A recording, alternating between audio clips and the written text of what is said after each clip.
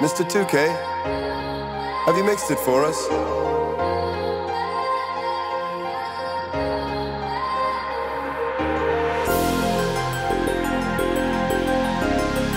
Big T Production.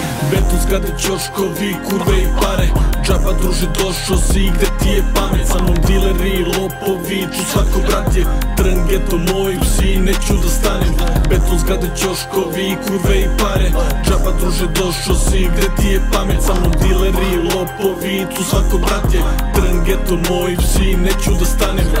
Ovde je tombe vreo, čak i kad je zima Ovde. Pravlje sam sreo, kad sam bio lima Ovde. Svi jure evro, jebi ga, takva je klima Ovde. Niko nije pevo, trn geto moja klika Pet jedan je teror, pet jedan je firma Vrag je mentora, mi smo banka da fina Pružuj stranje kvalitetno, oči su mi kao kina Slažem cigle kao Lego, you can see me John Cena. Robo, hrane svojeg od 30 evra in tarifa Prodat ćete za gram belog, uvek ista spika Iza ugla čeka neko možda u ruci mi cigla Morija kruži kroz geto, svako šteka sve što ima.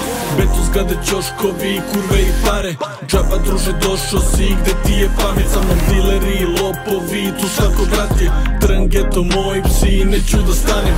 Šaljem bratu za katinu, jer tako mora. Jajare ukradu kintu, posle gutaju slova. Jebim na te, pusti priču, gepek trpaj mentola. I šamare malu sisu koga jebe kad je klošar Liče upadaš u minus, mani se čorava posla Ne izazivaj sudbinu, jer će skupo da te košta Tebi pisat će oblicu, delo kroja će ti stolar Upoznaj svoga ubicu, hronika, poslednji pozdrav. Sranje rešim ti za minut, ali uzet ću ti pola Kujo napuni mi sinu, znaš da hoću ceo kolač Lovit će ti kičmu, druže slupat će ti kola. Zaobići moju ulicu, Nikola Pašić bez broja. Beton zgrade ćoškovi, kurve i pare.